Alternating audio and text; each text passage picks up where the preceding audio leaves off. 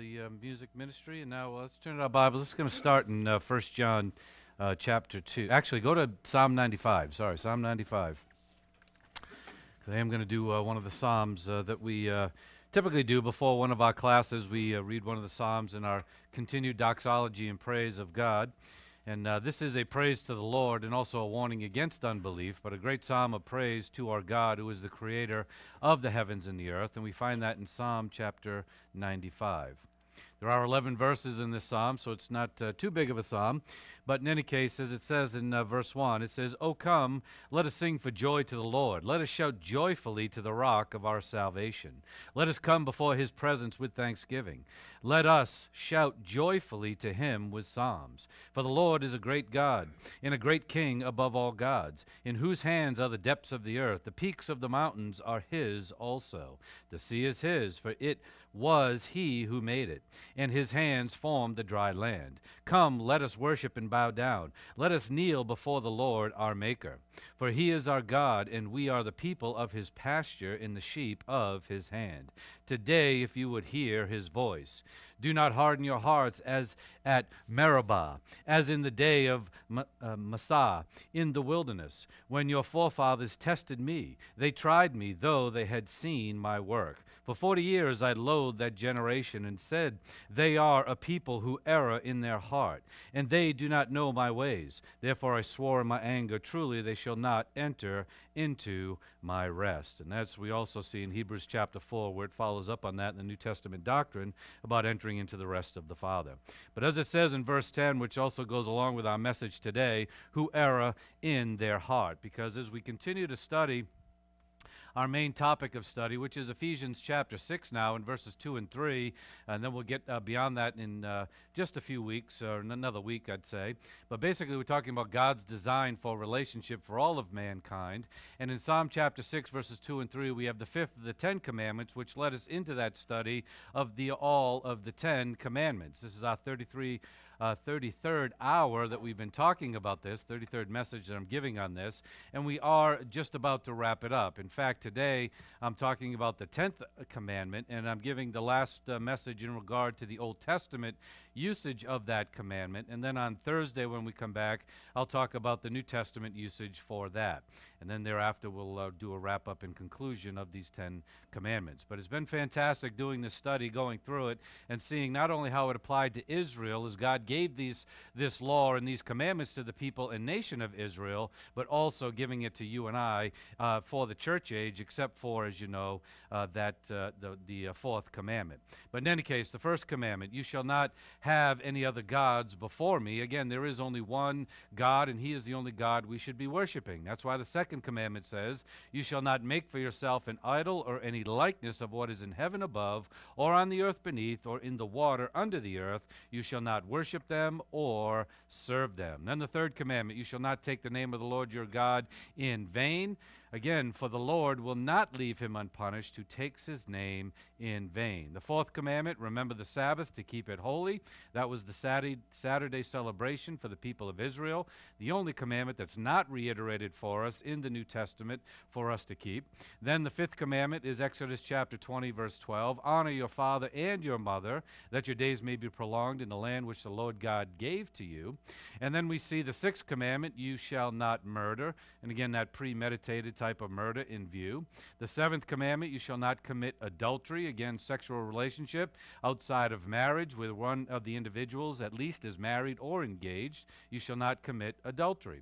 Then we have the eighth, you shall not steal, again, taking unlawfully the property of someone else.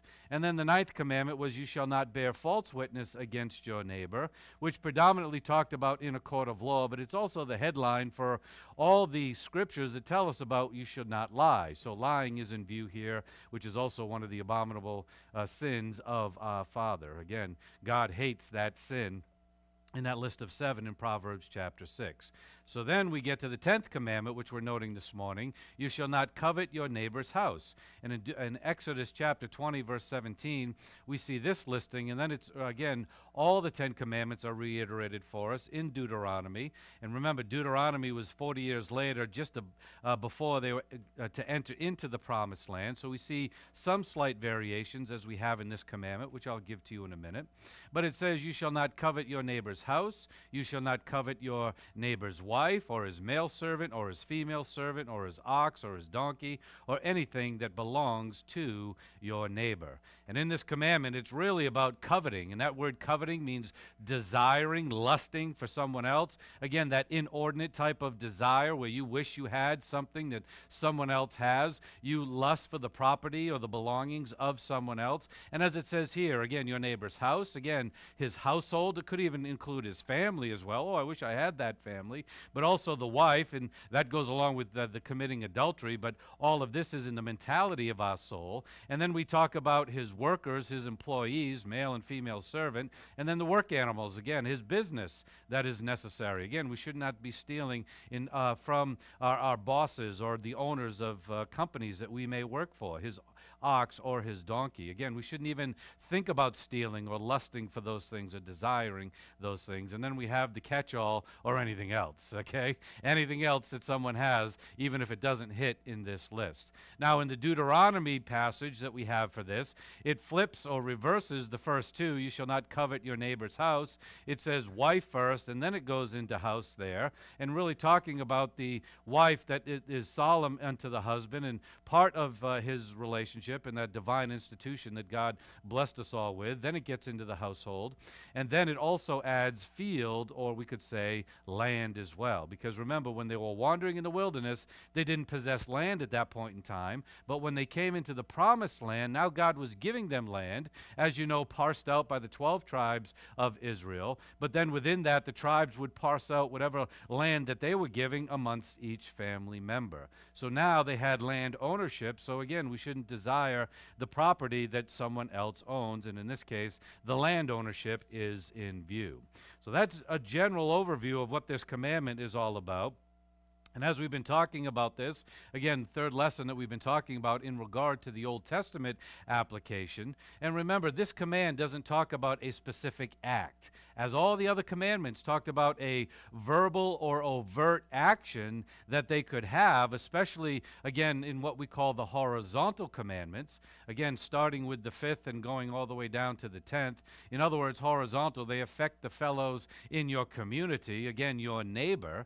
And as you know, we should be loving our neighbor as we love ourselves, and as Christ loved our na- his, uh, his friends, laying down his life for his friends. We should have love for our neighbor, not having these types of mental or overt or even verbal types of sins. So, in any case, all the other commandments that we've talked about, especially in the horizontal plane, have been talking about, again, overt actions that we could commit with our tongue or with our body. Now we get into really the mentality of our soul and the genesis of where all sin comes from.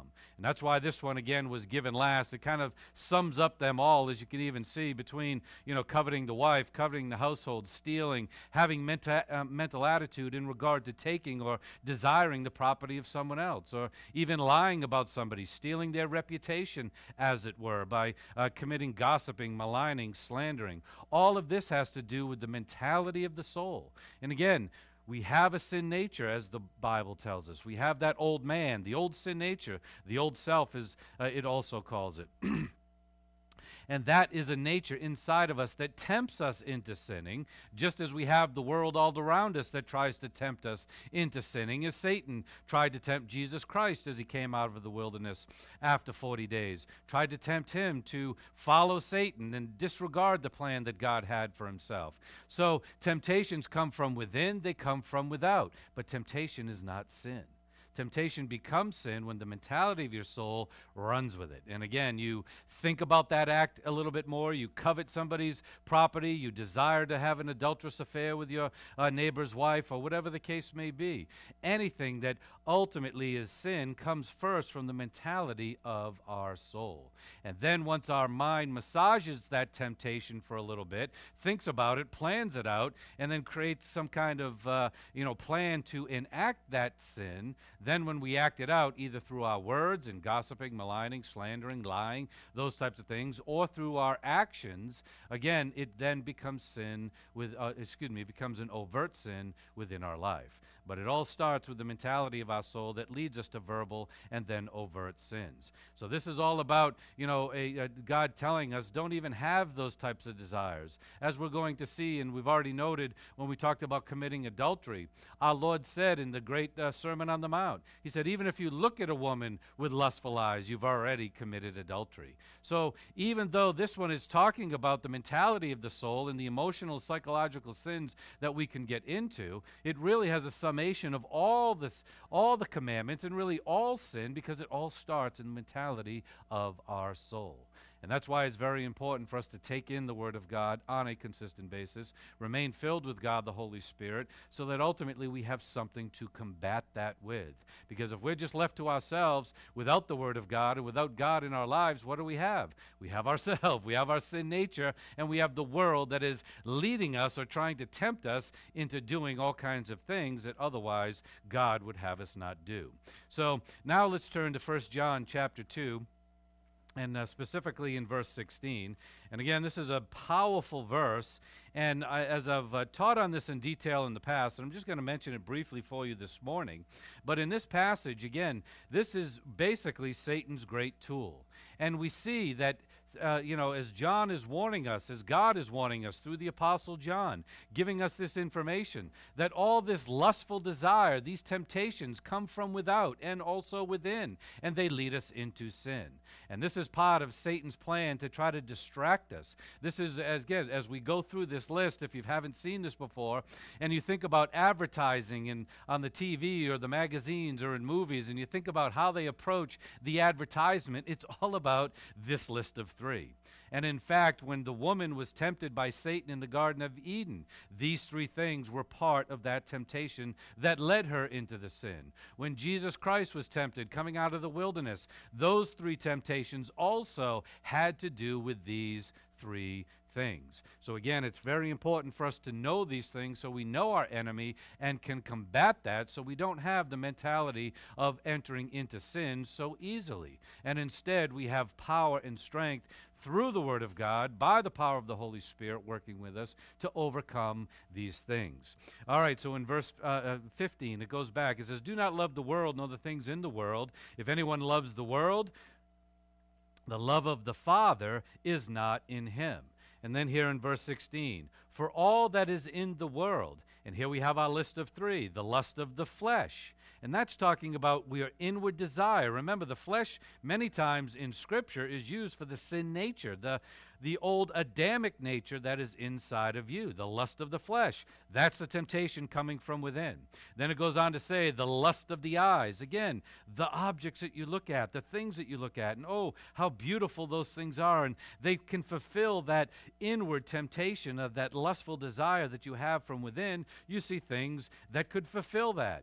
And then it also uh, goes on to say, again, after the lust, uh, the lust of the eyes, it says the boastful pride of life. And all of this is not from the Father, but is from the world. And the world is passing away, and also its lust. But the one who does the will of God abides forever. So again, we have the lust of the flesh, the lust of the eyes, the boastful pride of life, again, the arrogance that we can have that says, hey, I deserve that thing. I should go out and get that thing, even though the Word of God may tell me not to get that thing. Again, arrogance many times overrules God's will and plan for our lives. So we have to be aware of that. And so as we categorize these things, I like to call it appetite, beauty, and ambitious pride.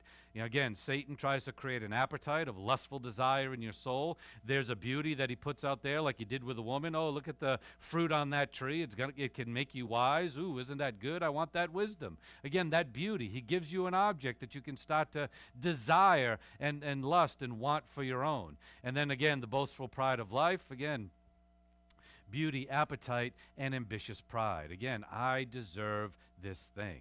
And again, this all goes back to what I've been telling you and uh, teaching about from the Word of God that we should have contentment within our lives. We should be content with what God has given us. We should be happy with God's provision. He is our uh, a provider, our caretaker. He will never leave us or forsake us. He has given us everything that He desires to give to us in this life, and there will be more.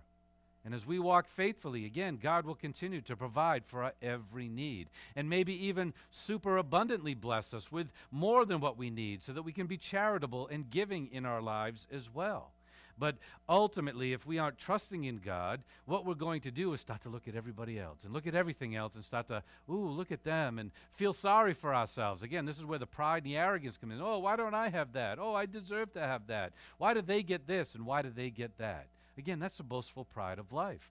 Uh, ultimately, we should not be looking at other people with lustful eyes, desireful eyes. We should be looking at other people in love and saying, wow, did God bless them? And if they've got some good things, great. They've you know, God has blessed them in a fantastic way. But remember, in everybody's life, yes, there are good things, but also there are bad things. And we have to keep that in mind. Uh, you know, there's no perfect life on this earth. When we get to heaven, there will be a perfect life a perfect environment, perfect mentality, perfect, uh, uh, you know, uh, community. But in this world, there is good and evil, good and bad. And again, just because somebody has some goods in their life, again, you shouldn't lustfully desire those things and then enter into, uh, uh, uh hopefully not, and take the next step and enter into some kind of other sin of verbally or uh, overtly acting that out. We should always be content with God and not give over to the temptations of Satan and his cosmic system. And again, as I said, you know, the Christmas season coming up, oh, you need this toy, you need that toy, you need this new car. I mean, this time of year, besides football games, games and you know Christmas, you see more car advertisements than you've ever seen before, and it just makes your head spin because you need a new car at Christmas time. Why do you need a new car at Christmas time? Why is it always that time? You know, because they know that Satan's got them in a spending mode and spending mode, spending mode. And all the advertisements get you spending and spending and spending. And ultimately, spending beyond your means many times and getting into debt, which we should not be doing. But ultimately, it all comes because somebody has created an appetite within our soul. And we could call it the advertisers, but ultimately we know that it comes from Satan and his cosmic system trying to lead us away from our walk in our relationship with the Lord. And as we look at this commandment, again, this may be the most innocuous of all the commandments, and again, the less egregious of all the commandments, because you're really not hurting anybody else by having a mentality uh, in your soul of sin. When you think about things, again, you're not hurting someone else. You're only really sinning within your own soul. So again, we may think of this sin as being, oh, it's, it's not too, you know, egregious here, but actually it's the most potent of them all. And it really shows us the progression, kind of in a reverse uh, fashion, coming, starting with the 10th commandment. Again, you shall not covet, lust, desire for other things. And then going, walking our way backwards between lying and stealing and ultimately uh, uh, adultery. And then what do we see? Murder. And so we see that negative progression, that spiral that really is the downward progression that someone could truly get themselves into when they don't take care of the mentality of their soul, when they don't take care of the temptation right then and there. And remember, as Jesus Christ said, every time he was tempted by Satan, he said, The Word of God says. He doesn't say, I say, or, you know, this one says, or that one says. He says, the Word of God says. God says, God says, God says. In other words, he's got the Word in his soul to combat the temptation that is coming at him each and every day. But if we don't have that, it could lead us all the way down to a slippery slope of even committing murder because we so want something that someone else has that we would go all the way to ultimately kill them so that we could have their property. And again, there's many people in uh, prison today who have committed murder as a result of starting with a lustful desire, coveting what their neighbor has or what someone else has. But again, you may not go that far, you may not get that far. But ultimately, this is the genesis of all the sins, the mentality of our soul, that coveting nature that comes, you know, from again starting from the temptation from within, temptations that come from without, but it all has to do with you making a decision. God's given you a free will. Am I going to choose to do that thing or am I going to choose not to do that thing? And that is our choice each and every day with our free will. And as uh, I'm going to uh, date myself here a little bit, remember Flip Wilson? I've said this before. Remember the comedian Flip Wilson back in the 70s and 80s? You know, oh, the devil made me do it. The devil made me do it. And that was his big joke. He used to say that all the time. No, it's not the devil who made you do it. You decided to do it. The devil might have tempted you, but you decided to go along with him. So the devil never makes you do anything. It's all about your free will and your volition. And basically, when we talk about ultimately seeing what these the mentality is all about, we have to make sure that we aren't dominated by our own self-interest. Because again, if we just think about ourselves and if we're occupied with ourselves and what I have and what I don't have, and always you know evaluating who you are or where you are compared to everyone else, you're not going to get anywhere inside of the plan of God for your life, and it's only going to lead to misery. Again, you should never have that self evaluation in comparison to someone else. If you want to have self evaluation, evaluate yourself in regard to your walk with God. Am I walking in righteousness? Am I keeping His word? Am I being the servant that He has desired to? Am I utilizing my spiritual gift to serve the body of Christ? Again, if you're going to be introspective, be it in regard to those things, but not in comparison to what you have or what you are compared to someone else. So again, we have to look at these things so that we aren't motivated to lust and desire after our fellow mankind. And it basically is a commandment that prohibits any desire leading to any kind of action that would then result in some kind of verbal or overt sin that hurts your fellow mankind. And that's why, again, in Romans, as we've seen many, many times and throughout the New Testament, if you love your neighbor as yourself, you've fulfilled the law. You see, God, Jesus knew, and God knows. If we have love within our soul, again, we have that spiritual self esteem, that spiritual self confidence. And when we have love for God, and then we ultimately have love within our soul that we can express, we're not going to be doing hurtful things towards one another. And if you truly have love in your soul, the mentality of your soul is also not going to think in sinful, lustful desires that then could lead to, you know, a, a planning or uh, you know, working out some kind of uh, physical or verbal sin that you commit towards someone else. So, again, if we have the right mentality, if we have love within our soul, because we know that God loves us so much and He's done so much, as we're going to celebrate communion this morning and think again about the cross of Jesus Christ and all that He did for us there as the sacrificial lamb boy, oh boy, you're not going to be thinking about, oh, I, I, wish I had, you know, that car or that boat or that house or that, you know, that tree or that family or that job or that power or whatever the case. You're not going to be thinking about those things. When you're occupied with God, you aren't going to be occupied with your, you know, uh, uh, uh with your position or stance in this life. So again, we ought to be occupied with God so that we don't have the wrong mentality inside of our soul. And the main concern should be about having love for God as we love our neighbor, which presents all of this from happening in the mentality of our soul. And therefore, we have what? A community that also lives in peace and harmony and love with one another. You see, if a community has a bunch of you know people running around with all kinds of lustful desires in the mentality of their soul, sooner or later there's going to be acts committed against one another, harmful and hurting to each other. But when we have, again, love towards one another, because of our love for God, we're going to have a great community. And we're going to have a community of, uh, of law, a community of happiness, a community of peace, a community of protecting one another, of their privacy, their property, their belongings, and also their right to live and have a free will volition. We're going to give them a right to be the person that they want to be. And again, that's all about love and it's all about giving grace. But again, when we have a negative aspect in regard to this commandment in our life, basically we're not going to have that harmony inside of a community. Certainly we should be having it inside the body of Christ, as you know, with your fellow believer. But when we get out of this church and we go out into the secular world, we should also be having harmony with one another in those uh, situations as well. So, this commandment teaches us much about our relationship with God. And when we think about our relationship with God, again, when we aren't to be coveting and desiring this, that, or the other thing, we are instead thinking about what? Who and what God is and what God is doing for me, what He's done for me, what He is doing for me, and then what He's going to do for me into the future. Again, then we focus on who and what God is. When you're focusing on other people, that's going to cram uh, or, or cramp up the mentality of your soul, so you don't have time to focus on God. But when you have focus on God, that's going to cram your soul, or cramp your soul, I should say, so that ultimately you're not worried about other people and the stuff that you know this world has to offer. Again, we'll be thinking about His faithfulness to us each and every day. And again, just think about, you know, the faithfulness that God has had to you in your life. I think about it all the time in my life and the sins that I've committed and the, the wretchedness that I am as a, me- a member of the human race with a sin nature inside of me. Yet Jesus Christ died and suffered for me and gave me eternal life and now wants to have a personal relationship with me each and every day.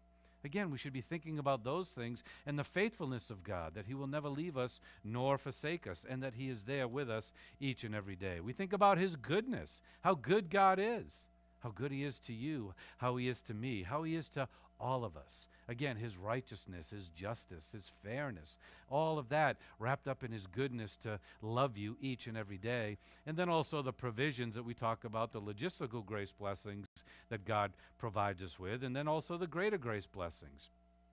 Again, the great blessings of just having a spiritual life. I mean, you know, we all have to stop and think about that for a little bit. You have a spiritual life. You have a spiritual walk with God that the average Joe does not have. The average person, they cannot have a relationship with God because they don't believe in God. It's interesting. I could get into uh, you know all kinds of atheist, atheism uh, type of analogies now. And again, if you remember that uh, that Christian movie that came out, God is not dead, and the whole debate there, and the atheist professor and the young uh, believer uh, student, and basically at the end of the movie, you know, he, he was pushing the uh, the uh, professor, you know, you know, uh, you know, why do you hate God so much? Why do you hate God? And he went into why he hated God and all these reasons. And then he, st- stepped back. The student stepped back and said, "How can you hate somebody that doesn't exist?" You see, in the in the inner being of even the unbeliever, they know God exists but they ultimately are choosing to ignore him each and every day for one reason or another. But it's our job as royal ambassadors to take that inner, uh, you know, uh, uh, uh, thinking, that inner nature that is telling them there is a God out there, and then communicate who the God of the heavens and the earth is all about and who their Savior truly is. That's our job to go out there. But again, going back, you have an opportunity to do that because you're a believer. You are blessed beyond imagination just because you can have a relationship with God, walk with His will and His plan, have His Word, have the Spirit, have Christ in your life each and every day, and then give that to other people. Again, you know, the majority of the people in the world don't have that opportunity. But you and I do because of the great relationship we have with God.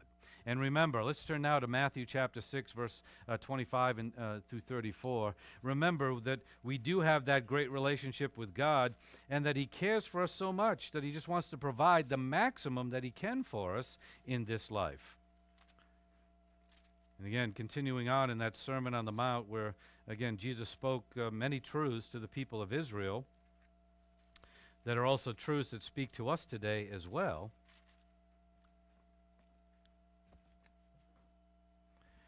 But this is a great passage in regard to faith resting in God and just trusting in Him for your provisions and for everything each and every day. So, in Matthew chapter 6 and verse 25, it says, For this reason I say to you, do not be anxious for your life, as to what you shall eat, or what you shall drink, or your body, as to what you shall put on. Is not life more than food, and the body more than clothing? Look at the birds of the air, that they do not sow, neither do they reap, nor gather into barns, yet your heavenly Father feeds them. Are you not worth much more than they? And rhetorical question, yes, we are. In verse 27.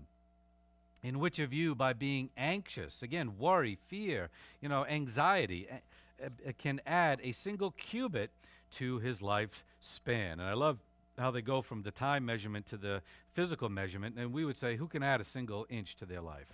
You know, again, no one can add a single inch to their life. It's in God's hands when we are born and when we will die. So again, can add a single uh, cubit to his lifespan. And why are you anxious about clothing? Observe how the lilies of the fields grow. They do not toil, nor do they spin. Yet I say to you that even Solomon in all his glory did not clothe himself like one of these. But if God so arrays the grass of the field, which is alive today and tomorrow is thrown into the furnace, will he not much more do so for you, O men of little faith? Do not be anxious then, saying, What shall we eat, or what shall we drink, with, or with what shall we clothe ourselves? For all these things the Gentiles e- eagerly seek. And again, that's talking about unbelievers there when it says Gentiles. They seek these things. For your heavenly Father knows that you need all these things. But seek first his kingdom and his righteousness, and all these things shall be added to you. Therefore, do not be anxious for tomorrow, for tomorrow will care for itself. Each day has enough trouble of its own. Can I say an amen to that? Each day has enough trouble for its own, so why worry about the next day and the next day and the next day? Again, faithfully walk in God's plan. Again, keeping the, the mandates that He gives to us. Again, these Ten Commandments are nine of them that have been reiterated for us in the New Testament, plus all the other mandates that God gives to us is what to do and what not to do during the age in which we live in. Again, uh, understand those things and apply those things, walking faithfully in your relationship with God and then in relationship to one another. As Psalm chapter 119, uh, verse 97, and again, this is a praise that we should all have in regard to the giving of the Word of God, as we just read. How I love your instruction! It is my meditation all the day long. And again, that's what we should be doing meditating on the Word, meditating on the Word. Because if you're not meditating on the Word, you're going to be meditating on what? Things and stuff and people and the world and all these other things that are just going to, again, are designed to create that lustful nature and desire inside of you that then leads you to various types of o- overt acts that are in disobedience to God and His Word. So, again, we should all be praising how fortunate we are to have the Word of God and how much we should be loving the Word of God. Again, your instruction, again, the Word of God, and we should be meditating it in our day. As God warned uh, the Israelites in Deuteronomy chapter 7 in verse 25. Let's turn there now. Let's go there uh, again to the front part of the uh, uh Bible, again, the fifth book of the Pentateuch. Again, Genesis, Exodus, Leviticus, Numbers, then Deuteronomy. In chapter 7, and remember, this chapter 7 comes soon after our Lord had given the Ten Commandments. And in regard to that, again, we kind of see a combination of mandates. We kind of see the first and second commandments also tied in with now this tenth as we see God warning the Israelites not to covet the silver and gold on the idols of the pagan nations that they were conquering as they came into their promised land, or even the ones they didn't conquer again, as they conquered those, again, you know, to the victor, you know, goes the spoils. Ultimately, they would take all of their foreign idols, and many of them were uh, adorned with gold and silver, or even sometimes uh, jewels or precious gems. But God is warning them not to lust for the gold and silver on the idols. And it's interesting. I mean, we already know the first commandment, have no other God and don't make any idols. But they so if they were honest, you know, to that and fulfilled that, they would take all these idols, melt them down and then have the gold and silver that they could use. Now, you know, there's nothing wrong with utilizing that gold and silver, but the commandment is what? Don't covet it. Don't have your tongue hanging out like a dog, ready to, you know, eat the bone or whatever the case. And oh, I want that, I want that, I want that. Look at the gold, look at the silver. Wish, wish I had that. Wish I had this. Ultimately, God will give it to you if God desires it for you. So He warns them not to go after those things and bring it into their house, even because again if you take that temptation that then uh, ends up in an overt act, you'll bring that thing into your house and have that gold and silver that then occupy the mentality of your soul rather than meditating on the Word of God. And you could even go to the next step where you keep the idol intact and maybe you'd start to worship that idol as well.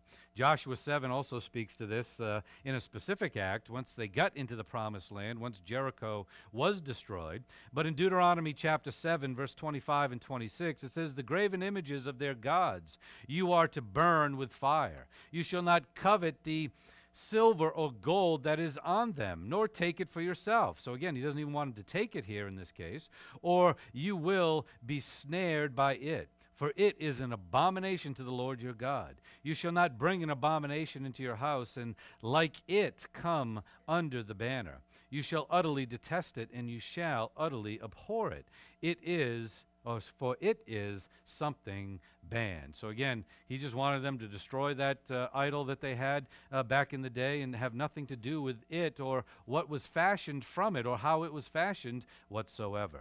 And as I said, Joshua also, a, a fellow by the name of Achan, also uh, was tempted by this and had uh, a break of the covenant as a result. The prophet Micah also condemns coveting the houses and fields of their fellow neighbor, lusting after the things that other people have. As Micah says, they covet fields and they seize them in house and take them away. So again, you see, it starts with the mentality of the soul that it can lead to some kind of overt action, in this case, stealing, taking them when they rightfully do not belong to you. They rob a man and his house, a man and his inheritance. And again, Micah warns against doing that, so we should not be entering into that as well. Proverbs also warns against, again, the adulterous woman and not lusting and desiring after her beauty. Do not desire her beauty in your heart, nor let her capture you with her eyelids. For on account of a harlot, one is reduced, and I love this, to a loaf of bread. That's how you are, just a dumb loaf of bread that you know goes into the mouth and gets passed out, and you know you know what happens there. But in any case, it's all it is. And an adulteress hunts for the precious life. Okay, she's trying to take your stuff away from you. Again, it's not you. She wants your stuff, basically, in that situation. So, again, reduced to a loaf of bread. Then we also see in Proverbs chapter 4, in verse 23 Watch over your heart with all diligence, for from it flow the springs of life. And that heart, again, as we have uh, in the Hebrew and also in the Greek, again, talking about not the blood pumping organ, but the mentality of your soul, the innermost being of your soul. Again, that's where your life flows from. And if that heart is corrupted with uh, evil and sin and uh, lustful desires and coveting uh, uh your neighbor's things and stuff, basically, again, what's going to flow from that heart? The same. The same's going to flow. But ultimately, if you have righteousness in your heart, if you have the love of God in your heart, then from that heart will flow righteous justice, love, and you will care for your neighbor, provide for your neighbor, protect your neighbor as you should, as, as well as their property and their belongings. So, Again, the Word of God tells us time and time again not to envy, not to desire, nor even take away the things that our fellow mankind has. Again, his home, his wife, his land, his servants, uh, workers, we would say, his livestock, uh, things of his business, ultimately, or anything else that he owns. Again, we should not get into that mentality of anything uh, that someone else has that we start to lust and desire. Again, occupy ourselves with. Oh, I wish I had this. I wish I had that. Or feeling sorry for ourselves. Why don't I have this and why don't I have that? Basically, we aren't to have any of that type of mentality in our soul. And God gives us this command because He knows the sin nature. He knows Satan and his cosmic system. He knows the temptations that we will be affected with each and every day. And He wants to give us the power and strength to overcome these things. And He doesn't just say, don't do these things, which again is good enough, like the, you know, the two year old child, you know, don't do this and do that. And again, you have to start in immaturity in the spiritual walk with do's and don'ts. But then later on, as we grow to maturity, then what does Jesus say and what does God say? Love your neighbor as you love yourself. So it becomes a greater lifestyle, a greater mentality that we are to have. And the do's and don'ts, yeah, have them in your soul so that works and gives you that quick little bit of information. The Word of God says not to, the Word of God says do, uh, so I will do. And ultimately, with that, we can go forward. But then, as we grow in spirituality and we grow in our relationship with God, we start to have a greater perspective of other people that are around us and the servant heart that we should have as royal priests and royal ambassadors, our relationship with God. And we have that all in the mentality of our soul. And now we function in that with our overt and verbal actions. We use our words to encourage, uh, to lift up, reprove and rebuke if necessary. We use our actions to help, uh, you know, uh, other people in situations, to provide in a giving way where we can. Again, if we have the heart of love, we will have the body and uh, uh, uh, words of love as well within our lives.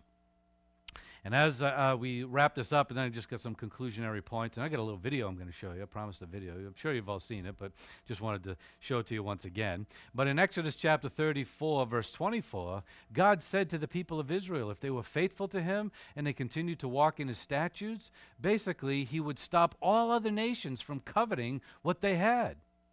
And remember, God blessed them incredibly with, through David and then Solomon and all the riches and all the gold that he had. I mean, Solomon had so much gold and silver that he was making, you know, uh, uh, weaponry and shields out of that material. Could you imagine our country going out and making guns of gold for every soldier that was out there? Again, how much would that cost? We're already paying billions of dollars for what we have. Could you imagine if everything was made out of gold? I mean, your head would just spin. But God blessed Israel so much that they could do those things. And at the same time, God said, I'll protect you. And the same thing goes for our nation, the same thing goes for you and I and your own family. Again, if you walk faithfully, no one else is going to covet the things that you have. And then again, with that covetousness, take the next step to take the things that you have. Uh, you know, uh, um, steal, rob, uh, you know, malign, slander, lie. They won't do any of those things against you. God will protect you. Even though, try as they might, God will put that wall of fire as hedge around you, so ultimately you too will be protected. And so in Exodus tw- uh, 34 24, for I will drive out nation before you and enlarge your borders, and no man shall covet your land when you go up three times a year to appear before the Lord your God. So again, that was a picture of their faithfulness back in the day. You go up on the Feast of Unleavened Bread, the Passover, again, same time period. You go up on Pentecost, you go up on the Feast of Booths, also called Tabernacles. You go to Jerusalem and, you know, give your sacrifice at the temple. That was their demonstration of their salvation and their faith in God. And so, again, we don't have to go to Jerusalem and commit our sacrifice three times a year, but we walk faithfully each and every day. And we demonstrate that in our words, in our actions, all starting in the mentality of our soul. Because as we've already seen in this discussion, basically God doesn't look at the outward appearance of a man, but he looks at his heart. He looks at the innermost being of a man, and he knows who and what you are based on the mentality of your soul. And so if you're feeling a little bad about that, well, you've got the Word of God to help you out so that you can have Bible doctrine resonant within your soul and walk in God's righteousness each and every day. So let me just conclude real quick with these things in our Old Testament uh, uh, uh, usage of this commandment. Again, it may have been possible for someone, you know, to not commit any of the other nine commandments. You know, you know, you're not murdering, you're not stealing. Most of us don't murder. Most of us don't steal. We don't, uh, you know, lie in a court of law. We don't commit adultery. We worship God. We don't have other gods. You know, it's easy for most people to commit, you know, not commit the nine out of the uh, uh, nine out of the first. excuse me, the first nine out of the ten. But there's not a one of us here that can't say, I've never committed the tenth commandment, okay? Because everybody has this sometime in the mentality of their soul. Again, when the soul, again, is tempted in some way, at some point or another, we've all committed it. But that's okay because we know that our Lord died for our sins. In 1 John 1 9, we confess those sins and walk faithfully in Him once again. But again, this also gives us, again, that last bit of fortitude for our soul. Because, yeah, okay, maybe you're not doing all these overt actions. Now let's work on what's going on in the mentality of your soul. Let's go there. And so, again, it may be the least of all these sins, as I said. It's the least injurious, the least violent to the community, to your neighbor, but yet is the commandment that is at the root of all disobedience, because it all comes from the mentality of your soul. Every sin. So, again, we have to be aware of this and uh, recognize this ninth of the Ten Commandments because it is the most forceful of all. Again, it tells us about our inability to keep God's law perfectly within our lives. Now, remember, the Israelites were to keep the whole Mosaic law. For the church age, we know that Christ has fulfilled the law, but many of the principles, like these nine of the Ten Commandments, are given to us again for the age in which we live in. And we are to keep them. And again, we don't keep the whole Mosaic law, as you know, but the law of God, which is the greater mandates, is even, is, as we talked about, there's 300 mandates in the New Testament for you and I to keep. Okay? And when we look at 300, can, can I really do that? And the answer is no, you can't. You can do your best, and we should do our best to walk in righteousness and not sin. And we shouldn't just, you know, be uh, laissez-faire about it and say, "Oh, whatever it may be, you know, que sera, que sera. If I sin, I sin. If I don't, I don't." You know, we don't a- operate like that. Okay. But we do have an inability to keep the law of the laws and the mandates of God perfectly. But that's okay because it gives us, as it gave Israel, a great awareness of their inefficiency and God's great sufficiency. It gave them a great awareness of their lack, but God's provision. It gave them great uh, awareness of God's grace, His mercy, and His love that they needed to depend on in order to walk in His plan. And that's what God's Word does for all of us. It gives us that information so that we have a dependency upon Him. And we should operate that way because, again, uh, in and of myself, we cannot do it. But with God, we can. We can be overcomers. And we can be victorious not only in salvation, but in our daily walk, just as God desires us to be. And just as God desires us to do, to focus on His grace and His mercy and rely upon that within our lives. He's paid for our sins. He's given us salvation. Again, 1 John 1 9, we can confess those sins. He gives us the filling of the Holy Spirit so that we can walk in the light of God. And as 1 John tells, and Ephesians 5, walk in fellowship with Him. We can walk with God when we are utilizing His power and His strength, His grace and His mercy within our lives. All right, so that uh, concludes our utilization of this commandment in the Old Testament. And uh, before I get to the next portion of our service, I wanted to share with you a little video that I just wanted to bring up. And uh, those online may not uh, be able to hear all of this. But if you all remember this movie, The Ten Commandments.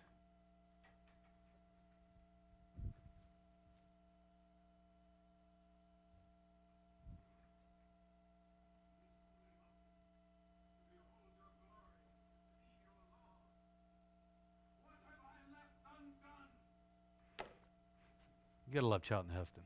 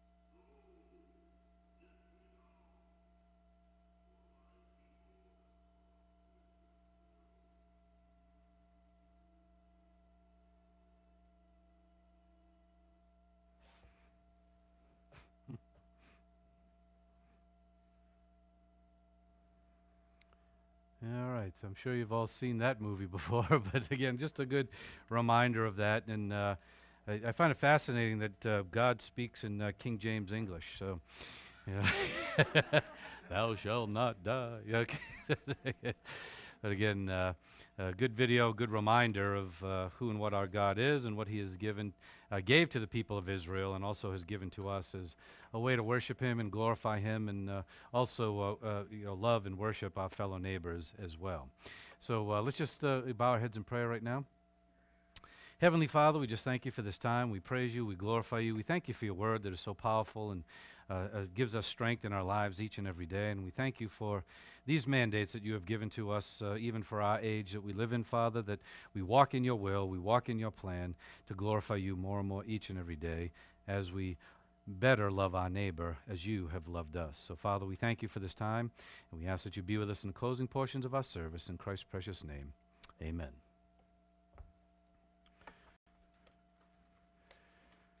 All right, and if you want, uh, if keep your Bibles open, and let's turn to Isaiah 53. Let's go to Isaiah 53.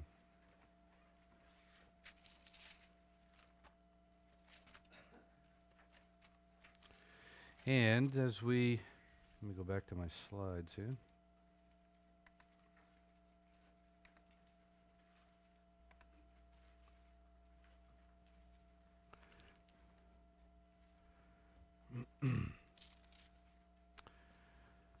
So, again, in this portion of our service, we are taking of the uh, bread and the wine of our Lord and Jesus Christ, and I welcome you all to participate in this. Uh, ultimately, it's a remembrance of uh, who and what God is and what Jesus Christ did for us upon the cross to pay the penalty for our sins. And as we have here in John chapter 1, verse 29, again, behold the Lamb of God, which has taken away the sins of the world. And that's why we come together to celebrate and worship our God. So uh, let's prepare to take out the, uh, uh, pass out the communion elements, have the music ministry. I guess uh, Mary Ellen's going to sing a song. And George and Gary, you mind passing out the elements for us today?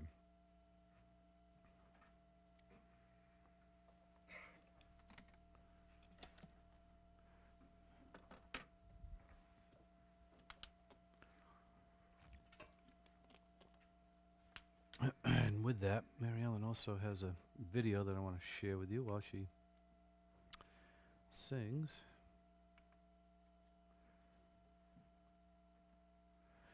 And let's just uh, pray for this portion of our service. Uh, Heavenly Father, we thank you for this opportunity to celebrate your Son, Jesus Christ, and his fantastic work on the cross for the forgiveness of our sins through which we have eternal life. And Father, we ask that you lead us to listen to the words of this song and meditate on our relationship with you and what your Son, Jesus Christ, has accomplished on our behalf. In Christ's name, amen.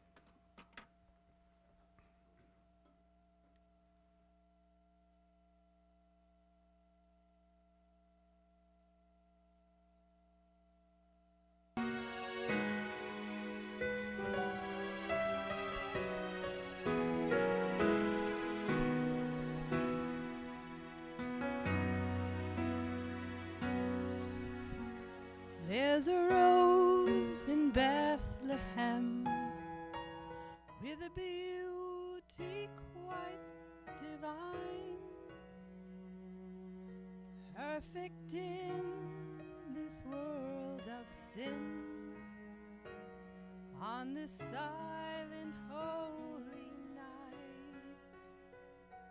there's a fragrance much like gold that it sends upon the wind, reaching out to every soul from a lowly manger's of Bethlehem,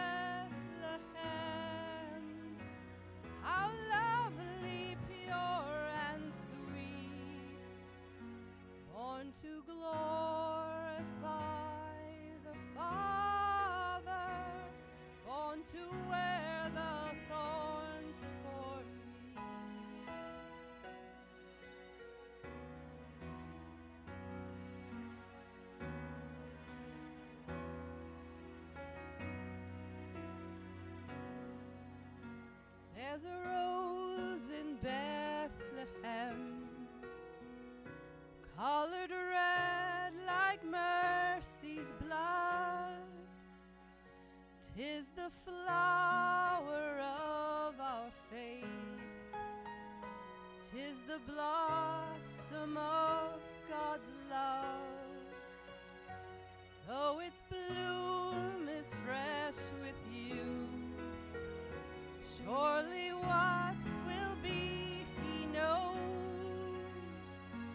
For a tear of morning dew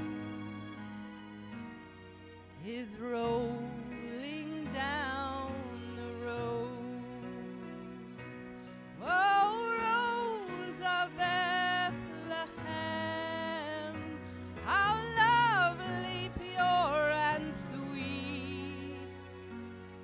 born to glorify the Father, born to wear the thorns for me.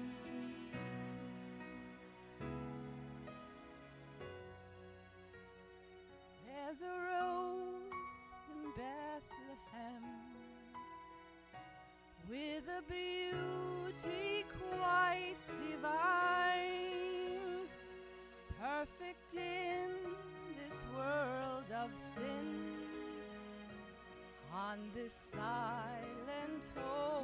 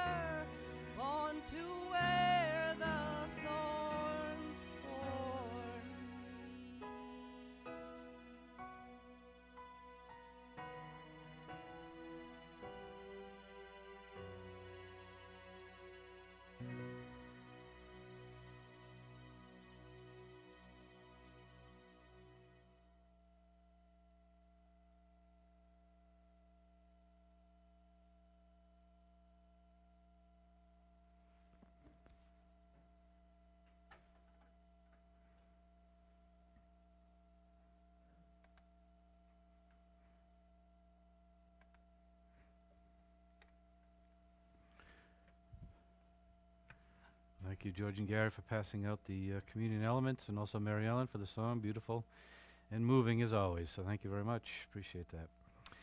So uh, again, uh, you know, once a month uh, we come together traditionally to uh, celebrate communion, and again from uh, 1 Corinthians uh, chapter 11 that we've been given to celebrate this until our Lord does return. But we come together to remember Jesus Christ and His work upon the cross, again through the bread and the wine that has been given to us. And as I have on the board, which I've read already in uh, John chapter 129, again John the Baptist spoke these words when Jesus came to be baptized by him, and again pointing him out uh, from the crowd. Again, behold the Lamb of God, which takes away the sin of the world. And going back to the Old Testament imagery of all the sacrifices that God commanded them to uh, commit, all were pointing to the work of Jesus Christ that He ultimately would uh, fulfill for us uh, or do and perform upon the cross so that our sins would be paid for. But I also like this picture too because it shows the tomb with an open door because, again, it does, doesn't end with the death, but it ultimately culminates in life. And we all have life in God because of what Jesus Christ has done for us. But Isaiah uh, chapter 53, and really going back into uh, chapter 52, towards the end of it is a fantastic passage of prophecy of Jesus Christ and what he would do for us upon the cross. And more so than any other Old Testament passage, does it explain in, in a condensed form everything that Jesus Christ would go through to arrive at that cross. And an interesting fact is that in the Jewish Bible, or if you even wanted to say the Hebrew Bible, which is just the Old Testament, basically they have removed Isaiah 53 from their Bibles because they don't want to face this uh, word and this doctrine and this prophecy when they read the book of Isaiah. So it's very interesting if you were to pick up a Hebrew Bible. Again, some may have it, but uh, from what I understand, the majority do not have it because they want to avoid what Jesus Christ has done. And if they do have it, then they give an analogy well, this is suffering Israel, not the suffering Christ. So again, uh, that is out there, but it is in our Bibles, and we do understand what Jesus Christ did for us. Going back to Isaiah 52 and verse 13. It says, Behold, my servant will prosper. He will be high and lifted up and greatly exalted. Just as many were astonished at you, my people, so his appearance was marred more than any man. In other words, he was disfigured beyond anybody uh, that had been crucified before. It says, In his form more than the sons of men. Thus he will sprinkle many nations. Kings will shut their mouths on account of him. For what had not been told them, they will see. And what they had not heard, they will understand. And that really, those, th- those verses really go forward to the second coming of our Lord Jesus Christ. But ultimately, the first coming is found at the beginning. Now, in chapter 53, it says, Who has believed our message, and to whom has the arm of the Lord been revealed? Again, who's, who have we witnessed to? For he grew up before him like a tender shoot. Again, the shoot of the son of Jesse being David. And like a root out of, the gra- uh, out of a parched ground. He has no stately form or majesty. Again, he wasn't born into the throne of Herod. He was born into a manger, as we know, and as we have depicted in our manger here in the church in Bethlehem, and basically out of a parched ground, because there wasn't a lot of truth and uh, faith going on in Israel at that time when he came no appearance that we should be attracted to him. He was despised and forsaken of men, a man of sorrow and acquainted with grief. And like one from whom men hide their face, he was despised, and we did not esteem him. Surely our griefs he himself bore, and our sorrows he carried. Yet we ourselves esteemed him stricken, smitten of God, and afflicted. But he was pierced through for our transgressions. Again, the crucifixion in view there. He was crushed for our iniquity. The chastening of our well being fell upon him. In other words, uh, the, our sins. And by his scourging, we are healed. Again, the suffering that he had on the cross. And it wasn't the physical suffering, but as you know, the spiritual suffering when he took on our sins. All of us, like sheep, have gone astray. Again, there is not one without sin, as we see in the New Testament. Each of us has turned to his own way, but the Lord has caused the iniquity of us all to fall on him. He was oppressed and he was afflicted, yet he did not open his mouth, like a lamb that is led to a slaughter, and like a sheep that that is silent before its shearers. So he did not open his mouth. But, and again, when he was in the trials before the Pharisees and uh, Herod, we see this in operation. By oppression and judgment he was taken away. And as for his generation, who considered that he was cut off out of the land of the living? for the transgression of my people to whom the stroke was due. And again, that last, you know, the generation who considered that he was cut out uh, from the land. Again, that's all talking about rejecting, or the rejection of him by his people.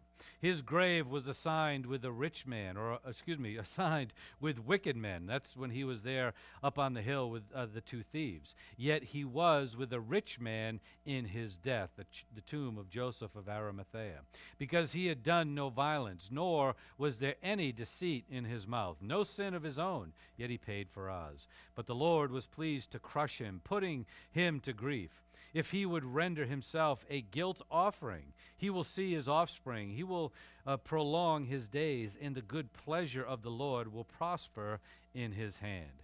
As a result of the anguish of his soul, he will see it and be satisfied. And by his knowledge, the righteous one, my servant, will justify many. And again, all who believe are justified by him as he will bear their iniquities. But he, bes- he bared the sins of the entire world, as we know. Therefore, I will allot him a portion with the great. He will divide the booty with the strong. And that's you and I. Again, uh, you know, uh, the, the family of God in the church age that we live in. And he was numbered with the transgressors, yet he himself bore the sins of many, or the sin of many, and intercedes for the transgressors. And again, bore the sin of many, that singular sin, talking about our sin nature and the spiritual death that is given to us through Adam, uh, passed down from generation to generation. Again, the sin of unbelief. So basically, we have Jesus Christ who bore our sins, took on the sins of the entire world, so ultimately we would not have to. There is no human good works that we could perform, no deeds that we could do, no offerings, attendance at church, or anything else that could uh, overcome our sins. But what Jesus Christ did is the lamb that was slayed, again, the, again, taking away the sins of the entire world. What he did for us, did it all. And that one sacrifice of Jesus Christ was all sufficient for every member of the human race. And as you know, whoever show should believe or shall believe in him would have eternal life and would not perish. You and I have received that eternal life because we believed in Jesus Christ and his suffering sacrifice for our sins upon the cross so that there, uh, so our sins would be paid for. So when we come together again once a month and we'll do it again on uh, our Christmas Eve special service and periodically from time to time when we come together we eat the bread, we drink the cup to remember the body and blood of our Lord Jesus Christ. And this body which has been sacrificed for us again this matzah cracker without yeast, without sin, pierce holds, bruising, talking about the body, get great physical description of what he went through prior to going to the cross and then being nailed to that cross so that ultimately he could suffer for our sins while he was there. So, in celebration of that perfect body of Jesus Christ, the spotless Lamb, we eat the bread.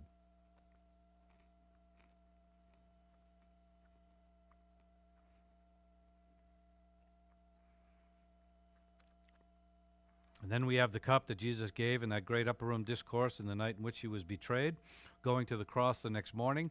He took the cup and he said, This is the blood of the new covenant. And again, this is my blood which is shed for you. And Jesus Christ, yes, he shed literal blood, but it's not the literal blood that saves us. This blood speaks of the sacrifice when our sins were put into him and judged by God the Father when he cried, My God, my God, why have you forsaken me? And it's that sacrifice that this blood represents that we commemorate to our Lord in thanksgiving for paying for our sins. So, again, in thanksgiving to our God and our, Lord, let us drink the cup.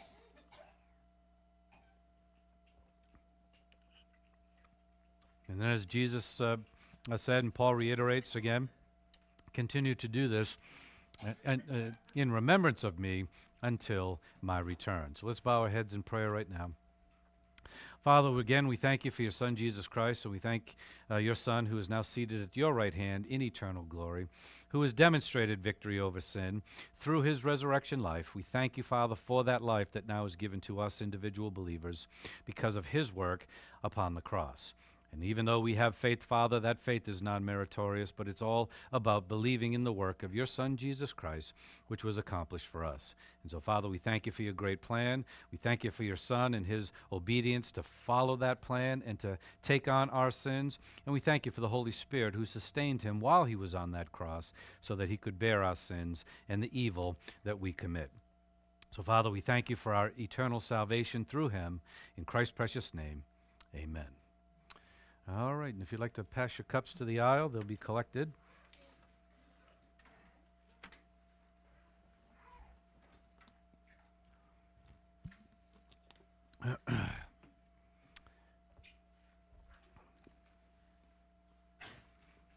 All right, and uh, the next portion of our service, we're going to collect an offering uh, this morning, and then um, we'll close with our final two songs. But uh, now is our time uh, to give, to meet the needs of our local assembly, and continue to preach the word through this uh, church, and uh, so that the word of God goes out into a lost and dying world. So, again, uh, in appreciation for what God has given to us, uh, let us just pray for this offering. Father, we thank you for this opportunity to give to you, and we ask that you take all that we are able to give to your work and to your service through this local assembly. And Father, we thank you for the blessings of being able to give and the great blessings you've poured out onto us, and now we offer some of them back to you to your glory. In Christ's name, amen.